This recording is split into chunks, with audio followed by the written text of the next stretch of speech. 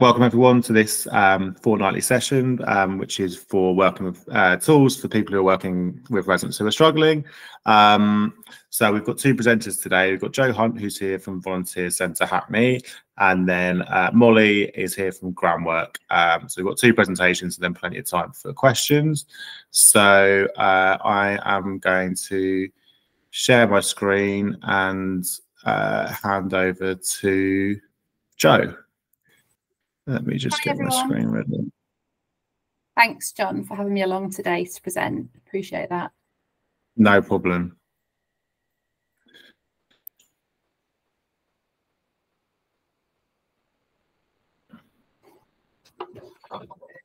Wonderful. So, uh, as John said, I'm Joe Hunt. I manage the uh, Public Health Community Champions programme over at uh, Volunteer Centre Hackney. Um, so, if you go to the next slide, please. So I thought I'd start off with the key program aims. Um, so in a nutshell, uh, the overarching sort of aim is to improve uh, health outcomes for diverse, underrepresented communities across City and Hackney, uh, which will in turn, uh, the aim is to reduce health inequalities. So delving into that a bit deeper. So public health community champions, um, what they do is they share key, credible accurate, timely, and accessible health messages. Um, that might be health information about health services or referral pathways into those services. Um, and they do this across their professional and sometimes social networks. The idea is that um, this is, increases resident awareness knowledge, understanding, and access to that information and services.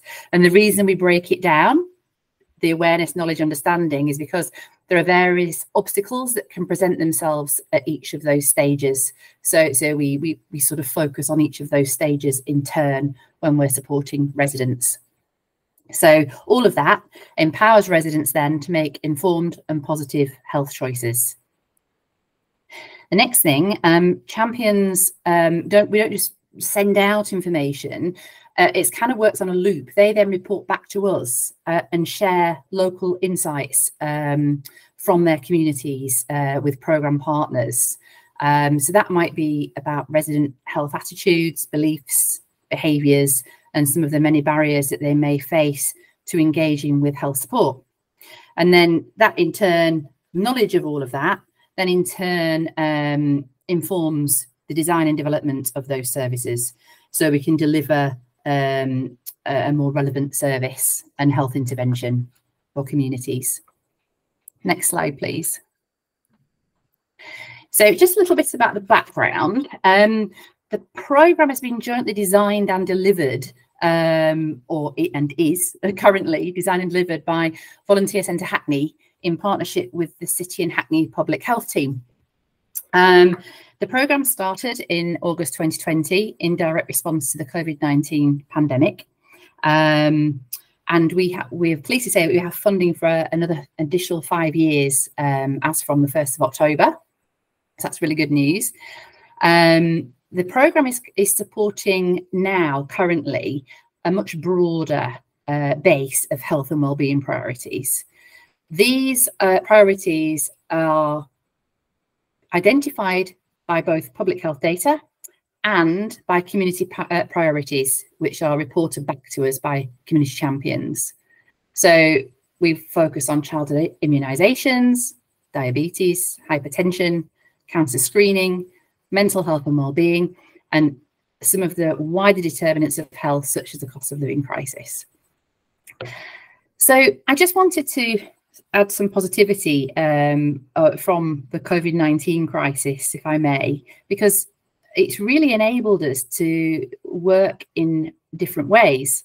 And I don't know if any of you have experienced this at all, but we've had many like technological leaps. Um, it's enabled more widespread use of WhatsApp and Zoom and other platforms. And there've also been some, importantly, some power shifts, uh, which has given communities autonomy. Um, for example, when developing their own public health messaging. And many public health professionals have also reported a fundamental change in the way that they engage with and integrate uh, community priorities into their work. Um, it's also enabled a lot of uh, City and Hackney grassroots organisations to have access to funding, access to training, and visibility and influence uh, in decision making, and access to grants that they may not otherwise have had, which has resulted in, in some cases, survival and capacity building at the same time. Next slide, please. So, what do champions do? So, in a nutshell, um, they inform and support service users and residents by sharing and increasing access to health messages, addressing specific concerns, drawing on effective conversation and listening skills, the knowledge that they've acquired through the partnerships, and the local health and partnership connections, collaborations, and events and activities delivered. Some examples um, include translation of, of communications into different community languages or more accessible, easy read uh, versions, making full use of social print, media, videos, text, meetings, etc. Um, they also assist residents to access health services, for example, by supporting them to understand and prepare for and book medical appointments. Um, and it and they enable access to mental health, emotional, physical support, and help them to overcome um, digital barriers, which is often an issue with many in terms of signposting into many services.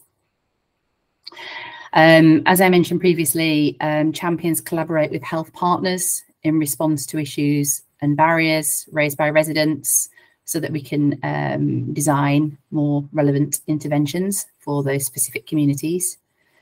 Um, champions reassure and inform this particularly happened within the pandemic uh, they reassured and informed individuals uh, for example with no recourse to public funds who may well they were very wary of potential immigration consequences in accessing the NHS. So champions were instrumental in, in informing them and enabling them to access um, NHS services which they needed.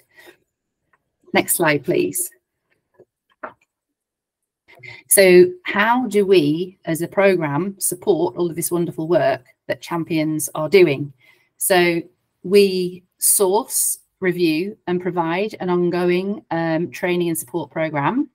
Um, this focuses on individual health topics, which are often shared by clinicians and, and health professionals. And then we also enable them to develop the skills which they need to communicate those messages and, and to signpost into services. Um, we do this via, we have fortnightly peer support sessions and we have monthly forum events, a bit like this one that um, you're holding today, um, and events and other activities across the programme. So um, we enable opportunity for collaboration. Um, this has worked really well, both across champion groups and across um, the programme as a whole, in terms of sharing information, sharing knowledge and sharing resources. Um, and champions have really valued being able to sort of uh, in, engage in Q&A with health professionals directly um, and seeking responses which they can take directly to their communities. We also, wherever possible, co-design the programme infrastructure and all the processes and procedures and priorities with champions, such as the health topics, which I mentioned earlier, right down to how training is delivered and when it's delivered. We co-design communication assets um, so that they're tailored for specific community needs with champions.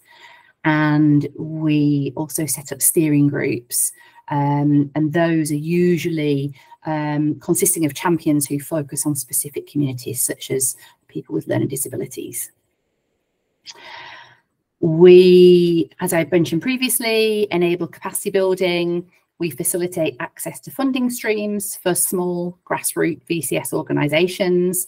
And we have just started supporting organisations around due diligence and compliance.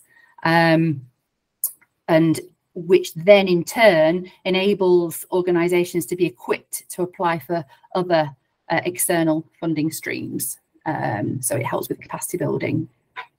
Next slide, please. So this I've included because this is just what we uh, give to champions when we induct them. Um, and it's just like a visual interpretation of the support we provide, uh, the benefits of becoming a community champion, you can see in the middle, and all the various roles that a champion may undertake. Next slide, please.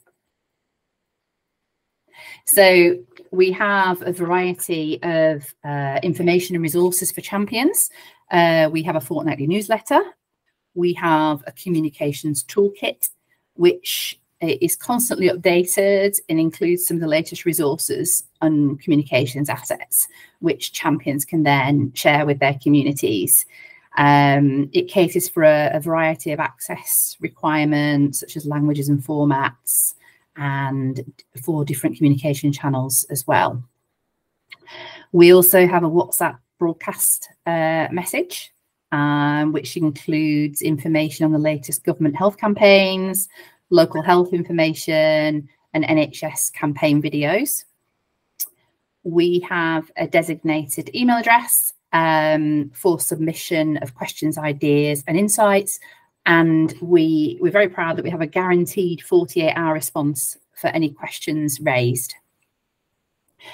Um, on our VCH website, we host a lot of most of this information and resources, and this is accessible to anybody. So I've included the link here and feel free to have a look in your own time.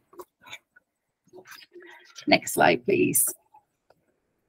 So I've just summarized here uh, the program ethos, and I wanted to mention this thing called trust. And some, sometimes we can't rush things. We have to be, we can't emphasize enough the importance of building up that trust uh, over time with, you know, with individuals, with communities and listening to their perspectives. Uh, so we're focusing on that quite a lot in the program through our support mechanisms, etc. Um, we ensure that the champion role fits with the individual champion and the organisation in which they're hosted. And of course, resident champions as well, because we appreciate that people have lots of other things going on as well. Um, so we support champions to make the programme work for them.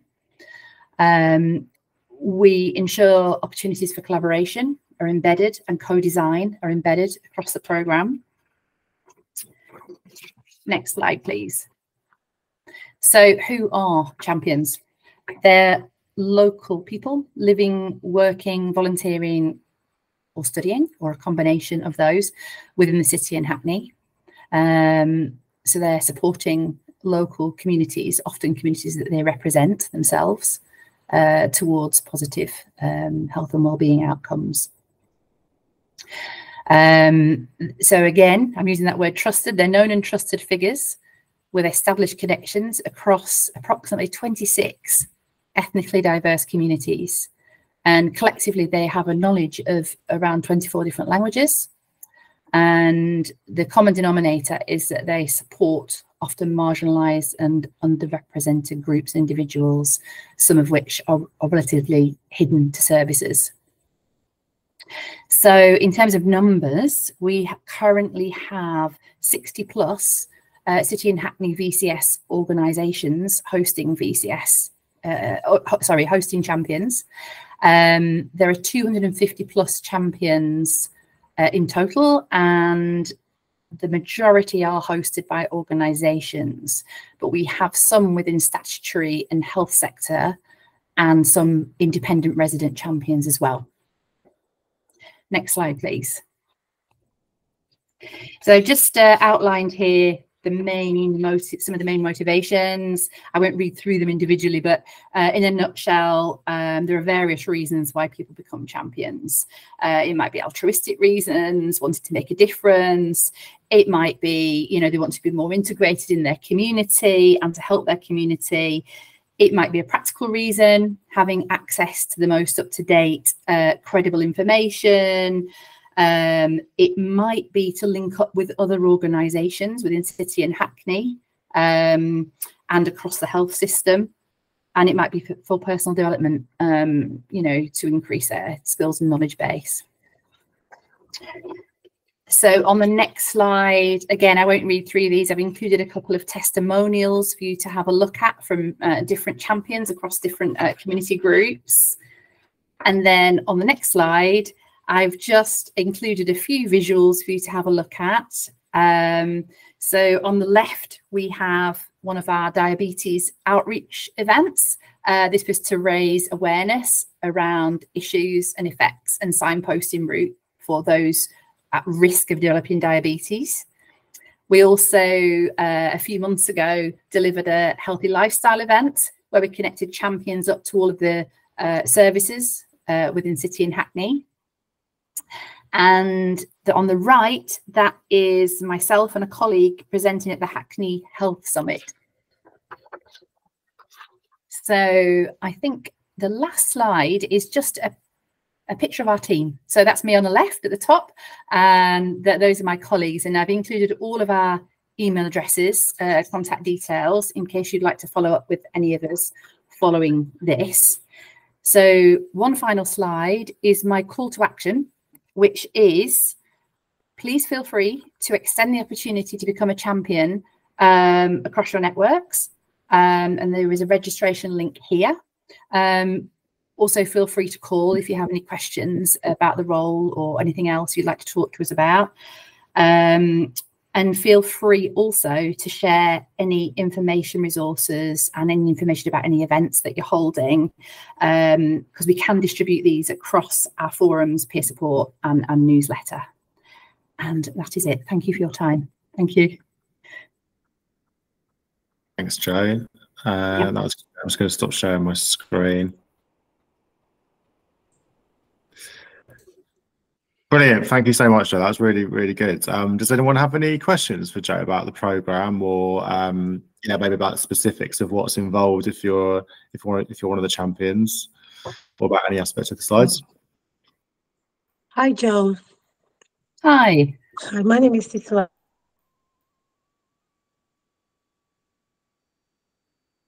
I work with long COVID programs and how do you do any measure to know whether it's really making an impact the Sorry, Tislea, I, I missed your connection there. Did, could you repeat the question, please? Okay. So um, I want to know how long ago did they start and have you been able to measure whether you're making any significant impact within the community? It seems you're doing a lot, but um, have you been able to uh, effectively evaluate whether those things you're doing are making any impact at all? That's a good question. We we have um, and we do, um, but it, it hasn't been in sometimes in traditional ways. We, have grappled okay. with this a lot, and we've talked to other champion programs across London actually, and it is a common oh. issue because you can't be too onerous, but at the same time, you need to know what impact you're making. So there are various methods we use. We uh, conducted an external evaluation, which was published in June last year. Um, okay. So I'm, I'm, quite happy to uh, circulate that, um, at, you know, along with the information that with the slides, etc. And that tells you all the methodologies that we used. Um, okay. And we continue to use, but we're also going to develop that some more moving forward as well. Does that answer your question? Yes, thank you, Joe. I'll definitely be in touch because I think I'm kind of interested in how it works and how if I can be a volunteer champion. Wonderful. Look forward okay. to hearing from you. Okay. Thank okay. you. Thank you. Thanks, Tisley. Um, a couple of comments in the chat, Joe, from Batia. Um, so one about how can we improve translated leaflets and um, left her email there um, for you to get in touch, or maybe you can, um, yeah, because you mentioned the translation in in your slides, didn't you? So maybe, yeah, mm. how, how does that that tend to work? Um, and is it is it just sort of um, not by chance, but I mean, is it is it a sort of um, an added benefit that that people are able to do that translation, or do you specifically look for people who can translate? It often it's quite nuanced translation because you, you, you, can't always yeah. assume that they speak the same language and therefore there's different dialects, etc. So we champions do get involved in that, and Um, there are various ways we can do that. I mean, it's quite a specialist skill. So sometimes we can reimburse for, for that kind of input as well. Yeah. Um, but we have found that rather than getting external, champions themselves are the best sort of uh, people to do that. Yeah. Um, Batty, did you did you want to come in? Yes. Um, Joe. Hi. Um, there's some new leaflets that have been produced, I think, centrally by the NHS that are in the GP surgeries. Um, I must admit, I picked them up and I, I just laugh because um, the Yiddish ones, I don't know about the Hebrew ones, but the Yiddish ones, um, they're not translated. All they are is transliterated. In other words, the English words have been spelt in Yiddish letters. Well, Right. that doesn't help because it doesn't mean anything. It's absolutely meaningless to a native Yiddish speaker if Mm, you just trans if you just put an English word in Yiddish letters. They'll mm, just scratch their head and throw the leaflet away, and it's an enormous waste of public money. quite. Um, I have tried as a public health community champion to put input into this for a year or more. I'm getting nowhere. So I'm wondering if you can help me escalate it because obviously it's important. Thank you. Yes, absolutely. Batty, can we talk outside of this? I'd be very interested in helping Yes, please. forward. Yes, please email me. Thanks. Great. Uh, John, are you able to share Batty's email with me? Yes, it's actually in the chat if you're able to access that. Um, but I could also forward it on to you. Amazing. Thank you. Um, also, another question in the chat about translation into French as well. Um, I don't know if that's one of the languages that you um, that the community champions are able to translate things into or not, Joe. We do have French, a number of French-speaking uh, community champions. Yeah, again, uh, feel free to, to contact me and we can have a chat about it. Is it Latumba and Mimi? Hi. Is it a specific dialect or is it straight French? Oh, I think you're on mute. You It's guys. just French. It's just the language French. Okay, yeah. Please feel free to get in contact with me and we can we can talk through it. All right. Thanks. Thank you. Great. Um, does anyone else have any questions for Joe? Charlie. Um, it's it's not a question for Joe. It's a question for the room.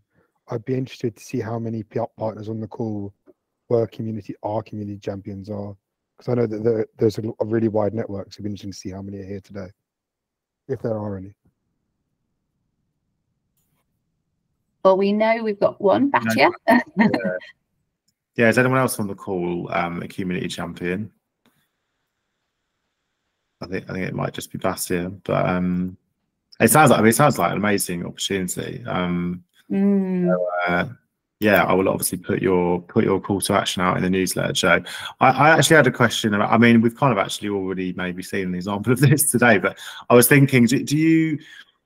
Obviously, you know, it sounds like it's a really you know um, powerful way to to get you know messages out there and signpost services, etc. But do you also do the community champions also feed back to health partners and health services about where things aren't working or where something isn't isn't quite as um, effective as it could be. Uh, Is this the sort of um, the feedback loop? Does it go the other way as well? If you see what I mean?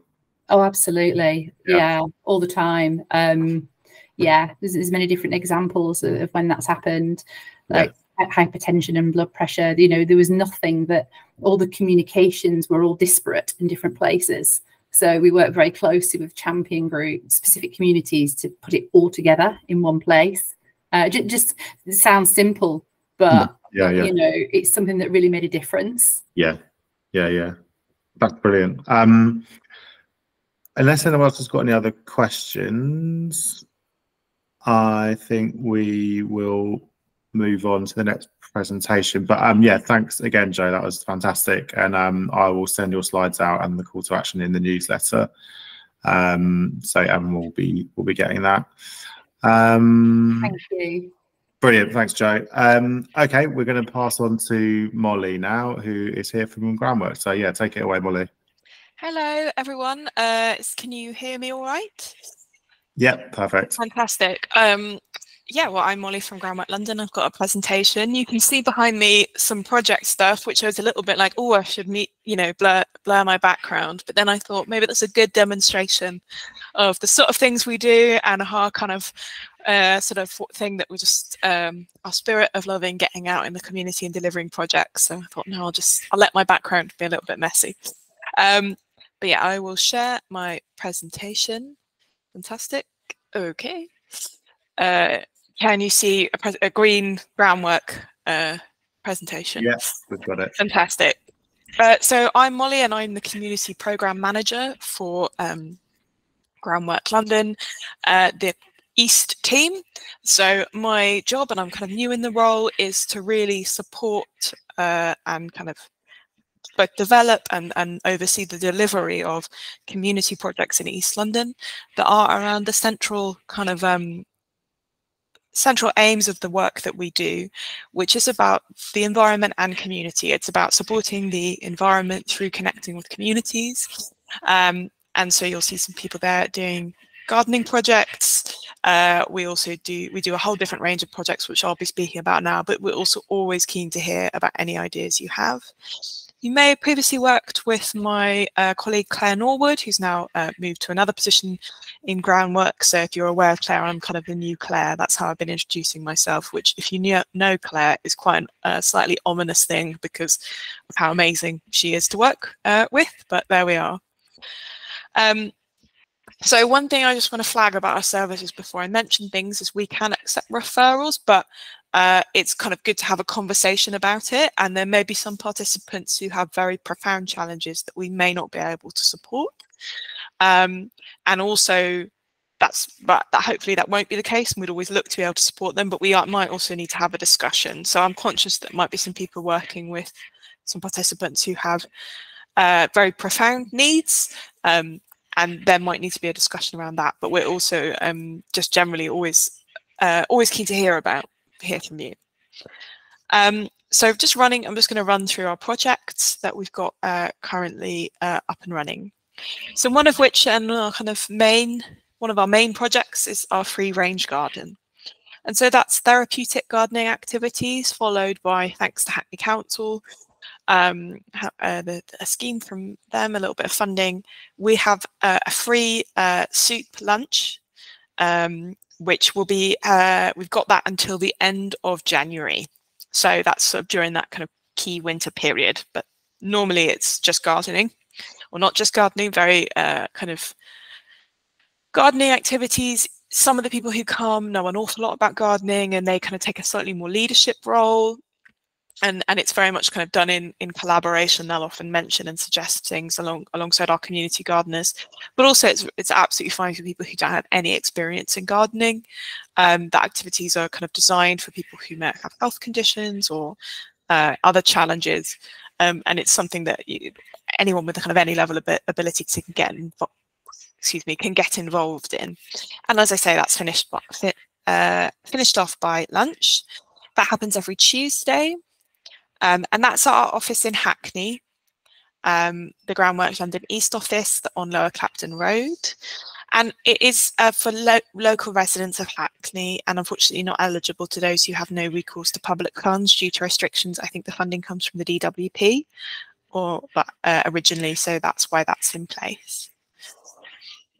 Um, Another thing we have is our Silver Liners program, which is coming to an end in the next few weeks, um, uh, but is a really amazing project where we get uh, older people who uh, give their time as volunteers to make amazing gifts. So we've got our slow craft uh, project, and you can see some of the slow craft uh, people and their kind of work that they've done.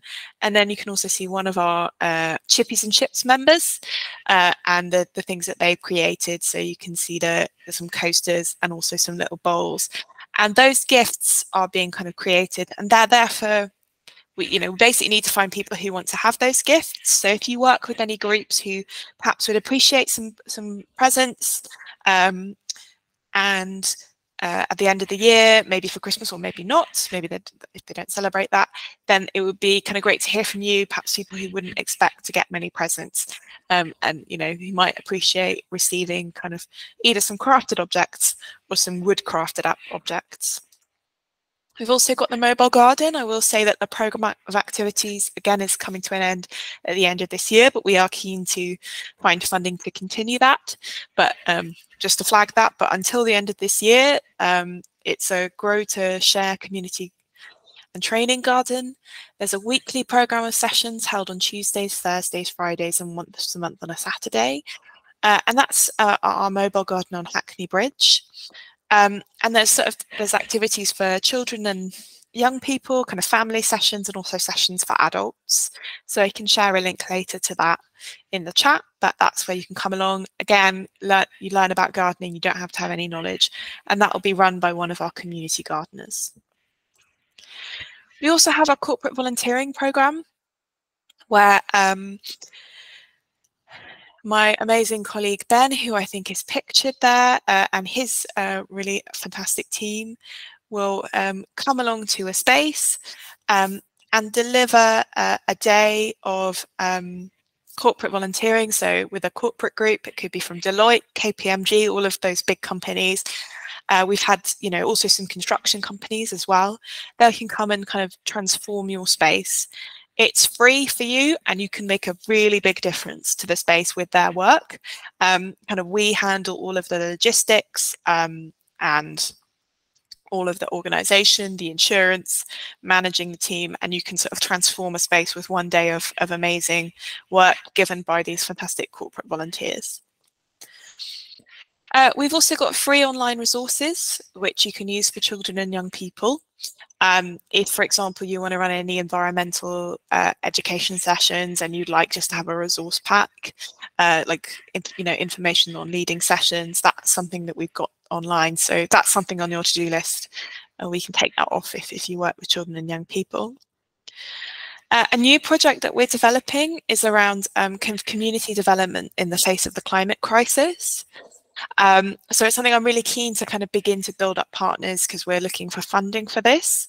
And one of the key, key planks of this program is we are able to deliver uh, accredited training, so carbon literacy training, which is really great sort of entry level into environmental issues and particularly into things like green jobs. Uh, and and what, you know, the point of the training is both to raise a knowledge of climate change, but also to uh, kind of encourage people to get into green jobs. So if you have a, a, cohort of people who would be interested in, in, increasing their employability, getting more accredited training, and also might be interested in working in the environmental sector in some capacity, uh, that's something we definitely um, be really keen to partner up for funding for. Uh, we wouldn't be able to deliver that without funding at this stage, but if you're kind of looking for a pot of money to deliver something and want to bring in that element of green jobs or any other aspect around the communicating around the climate crisis and building community resilience, I'm thinking today on a day that's stormy with Storm Ciarán, um, just being aware of, of that, that there are people who will be really struggling um, and when there's kind of increased extreme weather or increased extreme heat, obviously that has an impact on people, especially those who who have less recourse and less um, capacity. Uh, yes. So the other thing is kind of anything else. As I said, I'm fairly new in the role, and I we're you know we're kind of always keen to connect. We've got lots of experience in lots of different areas is it community is it environment get in touch. So if you've got something and you think oh i don't know if it's for them get in touch because it probably is. Um, and we do we are looking you know we're, we're an organization that looks for funding for projects but we have an expert fundraising team uh, and we're always really keen to partner up with smaller organizations and to support smaller organizations through those processes. So we're kind of uh, really always keen to connect and, and get involved. So if you've got anything that you think might be relevant, please send it my way. Uh, these are my details. So this is my email. And also if you want to book a meeting in with me, uh, you can really easily do that via link with this link, which I'll put in the chat. So yeah, that's my that's my presentation. Um, so thanks very much uh, for kind of uh, listening. I hope I haven't gone over time, uh, but yeah, happy to to have any questions as well if that would be useful. Thanks, Molly. That was that was brilliant. Um, yeah, does anyone have any questions for Molly about any of any of the work the groundwork does?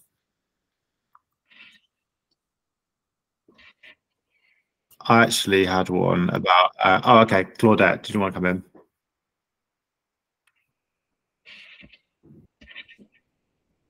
Sorry, Claudia? could I um, unmute? Yeah, I, I just wanted to know um, how long, if you um, refer someone to attend your course, how long, what's the duration of them participating? So for the free range garden, which we have Mhm. funding for, that that's just a drop-in course. That's just it's not a, course, or it's just a program. It's it's a drop-in.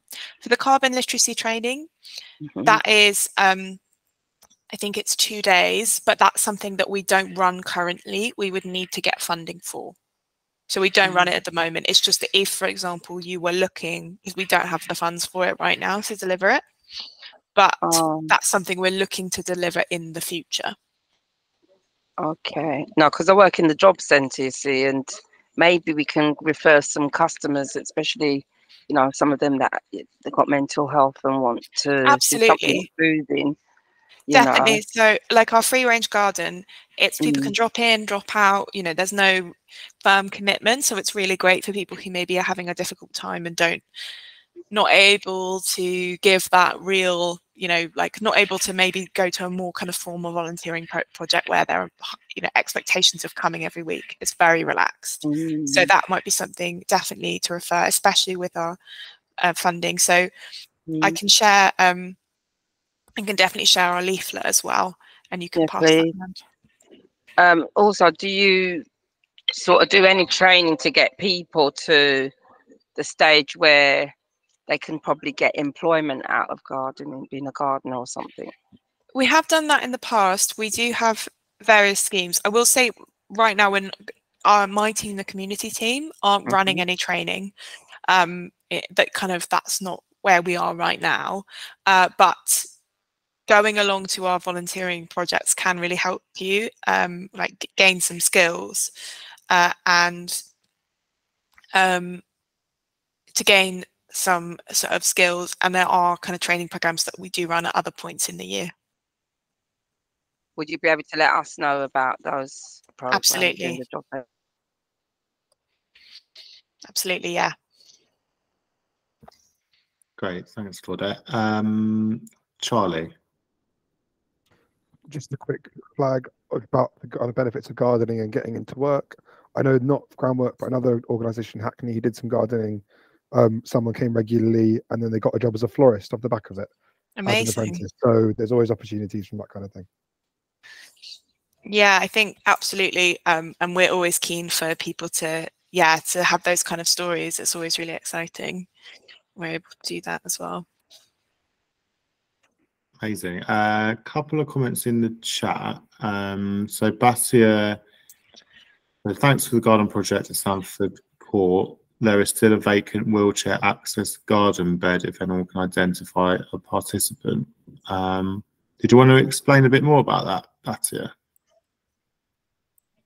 If we've still got you. Yeah, I'm still here. Great. Um, well, Groundworks um, did this walled garden for us. It was brilliant. But they did one wheelchair bed, and we don't have at the moment anybody who's identified as needing a wheelchair bed. So I'm I'm sort of looking towards spring and saying, look, can we find someone who can use this specially built garden bed? Um, you know, to keep the project fully occupied.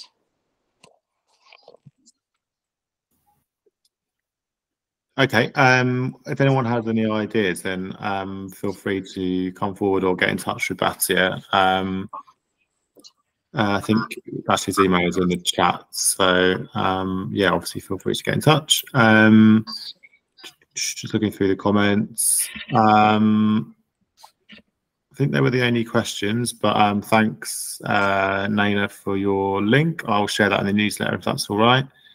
Uh, I think that's the only questions. Does anyone else have any questions for Molly? I was actually going to ask about, um, do you guys go into schools much? I'm, I'm assuming you must do work with young people and children, or is that a sort of untapped area as yet? That is so something we've done historically. I think we haven't done it post COVID, but it's something we're Right. definitely keen to get back involved in. Um, I'm having conversations. Yeah, we're always keen to kind of de- develop that kind of work. Um, again, we would really need to either look for funding or to, for that to be paid. Um, so, but definitely, really, really keen to have conversations. Um, Yeah. around those Yeah. things. Cool. Um, any other questions for Molly before we move on? No. Okay, great. Um, that's fantastic. Thanks, Molly, so much for coming along. And I'll, uh, if you if you're able to just send me or Alvini your slides, I can um send them out in the newsletter as well. Um, that was brilliant. Thank you. Um, so we've concluded our presentation. So now we tend to just open up the floor really for anyone to um, ask a question or make a suggestion for a future meeting or just to share something that you've been working on or to give a quick shout out to something that you're offering. Um, Batia, do you want to come in? Um, I just wanted to make everyone aware if you're doing advice work or dealing with people um, wanting to sign up to this new community fibre, which is the one that Hackney Council is promoting to all its residents. Um, I was negotiating with them on behalf of uh, one of our service users, and they have a benefits tariff, but they do not advertise it at all anywhere. You have to know about it and you have to when you ring up you have to say i want the benefits tariff and that will typically save a resident uh, five or ten pounds a month on their broadband and I, I think i just want to get the word out there i'm very angry with them for withholding that information and for hackney council for promoting them without making sure that they did have a benefits tariff for those that need it Thanks, Batia. That's good to know. If you're able to, um, maybe I can have a, have a look into that, or one of my one me or one of my colleagues can have a look into that. Maybe that the council just wasn't aware, but um, if you want to email me about that, maybe I can um, have a look. Because uh, yeah, obviously people should be being made aware of the best possible deal. So um, happy to try and find out what's happened there. Um, anyone else want to come in? Anyone, anyone else got a uh, burning question that they uh, want to put to the group, or any ideas for me of people you'd really like me to get to come along to a future meeting? Um, happy to sort of uh, make requests and things like that. Um, or we can wrap up. Oh, Titila, didn't want to come in? Yeah, um, I have a question. I don't know if there's anyone on the um, on here who can help. I I have a client who is from Poland. He's been living in the UK for 20 years, and he's trying to do his settlement. So he, he wants to know if there are um, charitable organizations who can help, who can give him advice.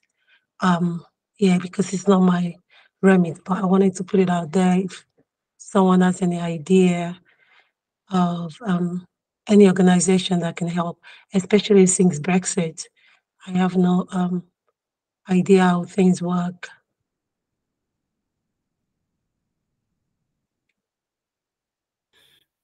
Uh, Nana suggested Hackney Law Centre. Titila, I Hackney don't Law know Centre. if you've Okay. looked at those guys yet, um, but that probably that sounds like a, a good option. Okay. Thank you. And there, there's the link there in the chat as well. Thanks, Nana. Um, Charlie suggested Praxis. I don't know if you've heard of them. No. Okay. Um, let me dig out a link for you. Okay. Thank you. But yeah, they're two really good suggestions. Um, oh, great. Thanks, Charlie. Uh, and Hoxton Trust as well. Oh, great. Advisor said so. Yeah, you've got a few few ideas to uh, go on there. Explore. Thank you so much. Thank you, everyone. Great. Thanks all. Um, any other questions? Yes. Yeah. Come in. Yeah, we have one of our volunteer. Uh, she's looking a place in Lower Center or a solicitor office for work experience. I don't know if you can help us with that. You mean she, you mean someone who's actually looking for an opportunity? Yeah, for work Yeah. experience. Yeah, Yeah. she's in year ten. Yeah. Okay. Um, I mean, yeah, I would probably. I, I don't really. I don't know. off the top of my head. Maybe someone else knows more than me. But um, I think people are usually fairly open and welcoming to having you know young people come along and do work experience. Um, I, would, I, I would honestly suggest just approaching people directly. I mean, even if they haven't got like a specific work experience or internship program, I, te- I think people generally um sort of quite pro you know um giving people that experience especially you know it probably helps them as well with their sort of capacity. But um did anyone else on the call know of any like specific work experience programs that exist in the borough for that sort of thing? I'm not aware of any but it's not i'm not aware of any but it's not really my um expertise to be honest. In law place or law center place or any solicitor office. Yeah, let us know. Yeah. Um, if you uh, maybe if you put your have you got an email address, guys, that you can put in the chat for everyone? Okay. Yeah. Or you Thank can you. Send, send, or you can send it to me, um, your email address, and then I can, uh, Yeah. yeah. Okay. Thank you. And then Latonya- Shannon, Latonya, sorry, you could you could link up with Volunteer Centre Hackney because I Mm. know that we you know we have contacts um, in in the law sphere, so you know maybe you could link up with the organisations that way. But it, as John said, I think it's about approaching those organisations individually. But we'd certainly be able to share the contacts with you. Yeah. Okay. Yeah, I was just going to add that the website says to contact the volunteer center, but there may be some that are available through the council on the link I put in there. great, thanks, chat. Genevieve. Yeah, maybe if you guys get in touch with Volunteer Centre Hackney, Joe, would you be able to pass on the the sort of the right link or email address, and then maybe Yeah, address, yeah. for those individual organisations and go from there. Hi Oh, there, it's Nina from Hackney Adult Education. Hi, Nina. Um, Lutimba Mimi, was it you who asked the question? Yes. Hi, what? How old is this person? Fifteen. Okay, so if you look at the phone number for Spark Change, that Yeah. is the Young People's Career Service for Hackney. Yeah. And they might be able to find a placement for the student. Are, are they in a school at the moment? Yes. Yeah, which school? Our Ladies Catholic School. Yeah, contact that Okay. number because that's a young young people's career service, Yeah. and they might be able to help. Okay. Thank you. Brilliant. Thanks, everyone. Um, yeah, hopefully you'll be able to find something. Um, Mm. anyone else have any questions or anything they want to raise, any ideas before we wrap up? No. Okay. Um, we'll we'll end it there then. Um, but yeah, thanks everyone always for coming along. Um, uh, yeah, thanks Joe, Molly, who's uh, not on the call anymore for the presentations. Um, and yeah, hopefully see you in a couple of weeks. And if anyone wants to present at the meeting, uh, at future one, we're always on the lookout for new people. So please get in touch with me and Elvina, uh, and we can find a date for you. All right, great. Thanks a lot, guys. Bye bye. Thank you. Thanks, you. everyone. Bye. Bye.